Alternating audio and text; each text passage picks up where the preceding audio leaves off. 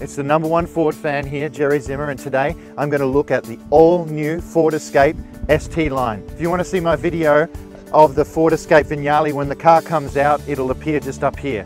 So this is the 2 litre EcoBoost turbo engine. It's got 183 kilowatts. It's got an 8-speed gearbox. It gets about 8.6 litres per 100 combined in fuel economy. A couple of tests that some independent people have done said it's worse than that at 9.4. and One of them said it was at 7.3. I'm driving the front wheel drive ST line version. There is an all-wheel drive in the ST line and the Vignale.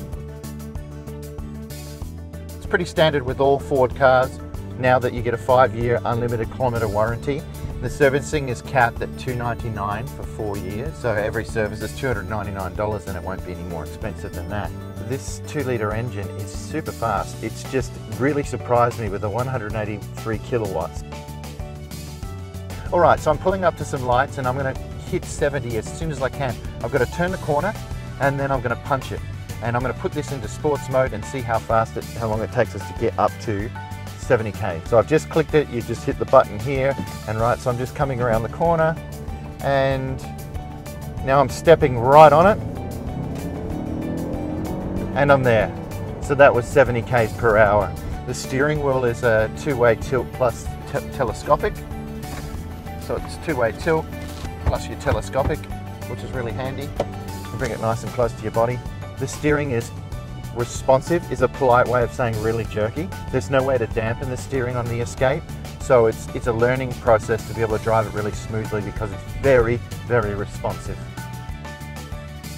So it's got an 8 inch display here and then a 12 inch full digital dash cluster here. It's on the ST line in the Vignale, but it's not in the standard Escape. Most of the vehicle settings for the car are in the 8 inch screen and not in the digital cluster. Each mode has a different color so in the cluster you can see now I'm in just normal mode so it's nice and blue. Now the sports mode is red.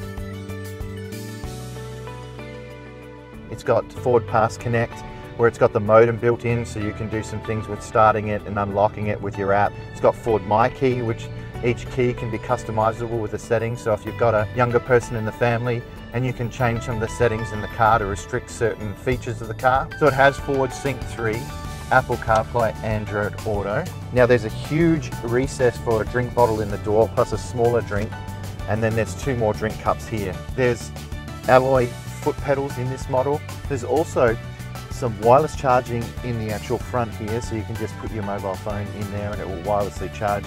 There's also USB-C for fast charging, and there's also USB-A at the front here, plus a 12 volt charger as well. The head-up display is interesting. It's got speed sign recognition. When you're in cruise control and it's set to adaptive, you can actually see the distance of a car in front of you and it actually signifies it with a little car and the car in front of you is a Mustang. So if the car is quite some distance away, it'll show the distance, how far the car is away in front of you and if it's quite close, it'll bring it up closer to you so you have some sort of aspect of how close the car is in front of you. There's front and rear parking alert at the front and the back of the car plus your reversing camera with the one-touch zoom. There's actually a good way to compare the models if you want to have a look and see what's the right model for you in the new Escape. You go to the Ford website, ford.com.au, and then go to the all new Escape. Click on that, and then it has a compared models setup. So you just compare the models, you click on the ones, and then you can see all the features that it has.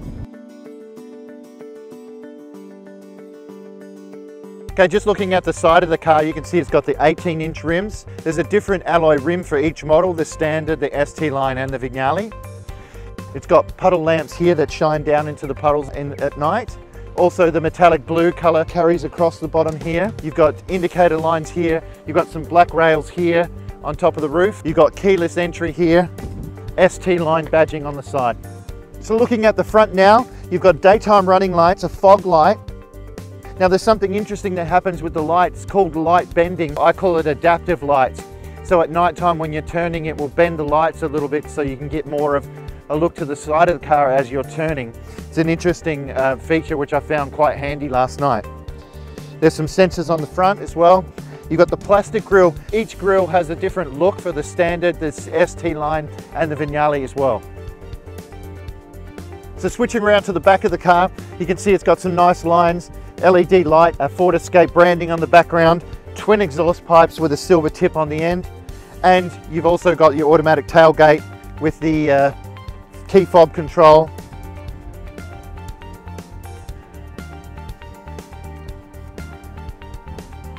There's some quite good space in the back here. If you lift up here, it's a 17 inch actual spare tire. It's not a space saver. So you've got a 12 volt here. You've got the release here for the seats, which is handy. You don't have to lean forward. The seats actually slide forward as well, giving you more boot space. So they slide forward, which is very handy. There's some lighting back here and there's a little bit of a hook here for holding your groceries down. So in the back seat, you can see that the driver's seat is pushed fully back and heaps of leg room for me. Again, six foot one setting, tall person in the driver's seat, tall person in the back, and you can just check out this room. Also, you've got the sliding seats that slide forward. On the back, you've got USB-C and USB-A chargers here for the people in the back. This is my favorite interior of any car I've reviewed for the year 2020. It's come on late, the last release of the year, the 2020 Escape. The interior is just so comfortable. So looking on the inside, there's a, it's like a carbon fiber look material here with a nice linen red accent stitching. Uh, the console is awesome. It's got a little uh, tray there as well as a 12 volt inside. It's got a, actually a little clip there for your pen, which is quite nice. I find this little bit here very handy, this console bit here, and all your buttons for your controls now. If you want to change the mode, so if you want to go to sports mode, if you want to control the start, stop, and you can turn all your parking assist off as well. So if it's beeping away because you're, you're sitting near a bush and you know you're not moving, you can turn that off. Of course, the electronic gear shifter, stability controls turns on here. You've got your 12 volt, your wireless charging. Wireless charging works beautiful. You just slip it straight in there. It's a really easy angle to get to and you just pop it back out again dual climate control. Steering wheel has got a nice soft touch, leather touch with again the red accent stitching. All your cruise controls and your adaptive and your lane keeping management on this side, or your Ford Sync 3 controls to answer your phone and also to move your way through some of the settings in the car. What I love here is because the gear stick is gone and you've got your digital shifter and your digital handbrake, it feels so roomy across here and the leg room is really nice. And the seats you can see are quite flat. They're not a sporty wraparound seat, so it's very comfortable. And there's an eight-way adjustment, but it's all manual adjustment you can have. And they also have the heating built into them as well in this model. Head-ups display, uh, you know, it takes a bit of time to get used to, but the head-up display is quite handy. Well, there it is. I hope you've enjoyed my look at the all-new 2020 Escape ST line. Now, if you want to take this for a test drive, get on down to Stillwell Ford in Unley. They'll be happy to take you for a ride and also keep your eye out for the hybrid plug-in 2020 Escape early next year, exclusive to Stillwell Ford in Unley. I'm Jerry Zimmer, the number one Ford fan. Thanks for watching.